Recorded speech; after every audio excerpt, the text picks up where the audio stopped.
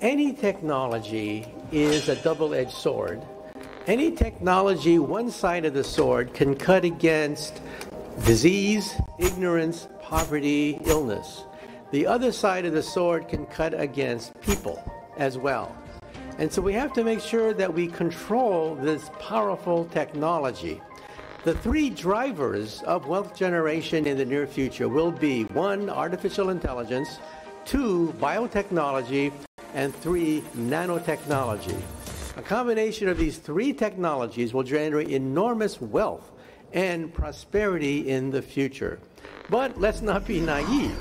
There's also the problem of nuclear proliferation, global warming, and the possibility of germ warfare. And so these are three technologies that could negatively impact on humanity. Artificial intelligence, I think, will become an industry bigger than the automobile industry of today because your automobile will become a robot. You will talk to your car. You will argue with your car. Your car will park itself and monitor itself. Your car will become a robot. But the danger is that robots at some point could become self aware. That is the tipping point.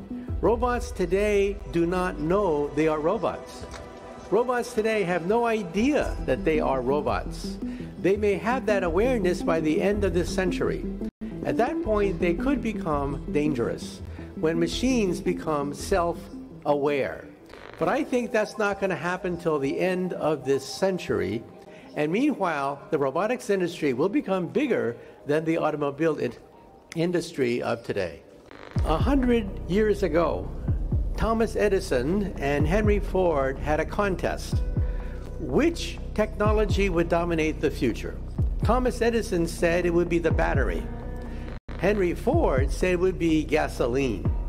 Everybody laughed at Mr. Ford. They thought the answer is obvious Edison will win. Because who wants to have a gas station on every block? Gas explodes. It creates fires. People will die every day if we have gas stations everywhere. Well, we all know who won the bet.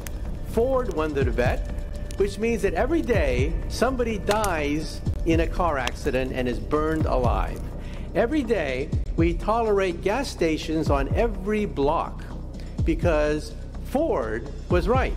But in the long term, Edison may also be right but the problem is storage. The battery is the key problem facing solar and wind power. How do you have solar power when the sun doesn't shine and wind power when the winds don't blow? The bottleneck is storage, the battery. But that's where new inventors are coming in today. Now, for the first time in a hundred years, Hundreds of inventors are pouring resources into the battery.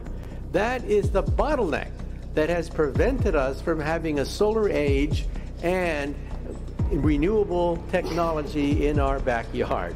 So the price of solar of uh, batteries has gone down 7% per year. That could eventually open up a new era of energy.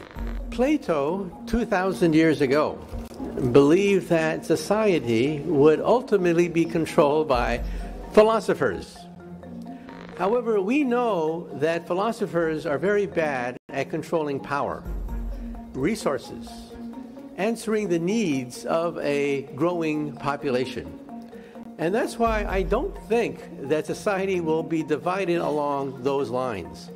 But the key to the future is education we have to educate our people so that we don't split into smaller groups that will eventually war with each other.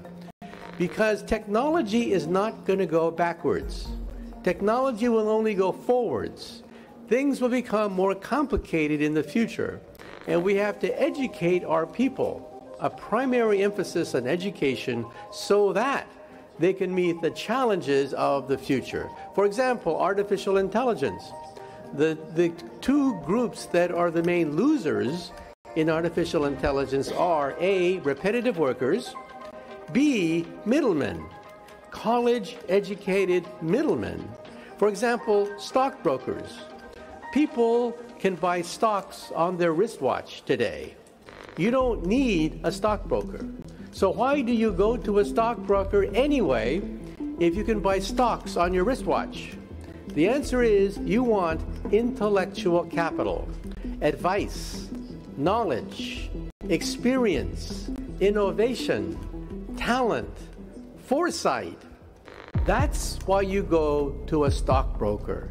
You want something that robots cannot provide, and that is intellectual capital, capital of the mind rather than capital of the hands.